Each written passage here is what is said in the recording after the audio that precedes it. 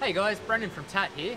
Um, while I've got one here, just keeping on the subject of catalytic converter efficiency, so your P0420, we've done a lot of videos on um, looking at scan tool data to see how it uh, affects it and how we can pick out when it's done it.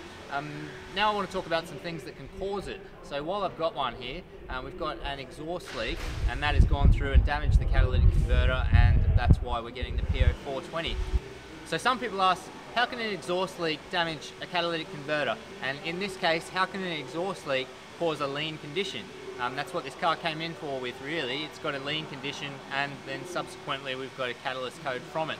So I want to show you um, how that's happened, what it what it affects and um, how we came to the conclusion. Okay, so here's our ManiCat. So this is our manifold and catalyst built into one. You're all aware of them. Um, it's off an older Triton and someone's already had a go at this with some cracks that you can see that have tried to be welded up but um, whether they haven't got them all or more cracks have come in this is the cause of our root problem so um, like I said won't go into the data we've already seen what a bad cat looks like um, looks terrible from the rear O2 and it's also running quite lean so why is it running lean from an exhaust leak if we go in a bit here you'll see some of the cracks that I'm talking about so this one here down here and um, what's important to note in this instance is those cracks are before the front oxygen sensor. So a exhaust pulse is not just um, positive pressure. You'll have positive pressure if this exhaust valve is open, but then if this one's closed, as the um, exhaust gases rush past here, like a Venturi, it will actually create some suction in this side of it. And if we've got a crack there, then if you imagine the, the um, fuel to put a pressure sensor on here, you will see a plus minus, plus minus, plus minus, and every time it um, does a plus, it's going to push a little bit of exhaust gas out. We hear it, we smell it, but that's all um, the same mix of air fuel ratio. So the oxygen sensor doesn't really care if it loses a bit of that. It's just losing some of the same ratio. It sees it the same. But every time it sucks in, it's going to suck raw oxygen. And the O2 sensor is going to see that oxygen. It's going to say, I'm extremely lean and I'm going to put some more fuel in. And that is what ultimately has gone through and damaged this catalyst because it's um, got massive positive fuel trims over fueling itself thinking it's doing the right thing when really there is no lean condition. It's just oxygen sucked in.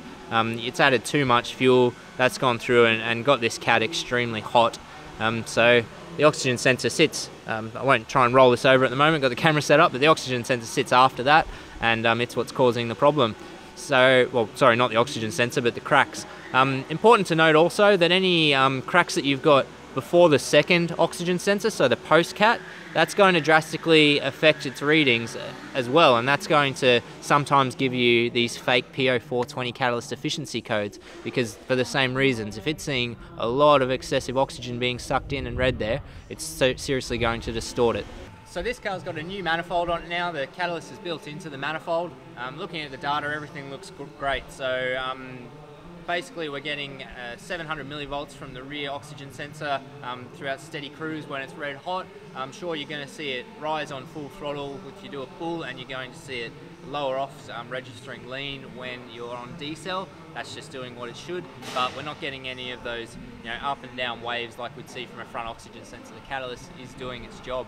Um, fuel trims are looking good, so we want to see fuel trims within about plus or minus 10% is, is the sweet spot. If you're getting close to those 10s, you know, it's worth looking for a problem. This one, we're staying around the 5, which is about all you could hope for from an old car like this. Um, never going to get perfectly around zero, but this is doing quite well. We've been servicing it, it's not using any excessive oil through its life. It's um, never had internal coolant leaks, so I'm not expecting anything to be able to go poison this cat. So quite confident that you should get years of use out of it until maybe it cracks again through age if it makes it that far. It just doesn't look like the greatest design, but I'm confident this should be fine.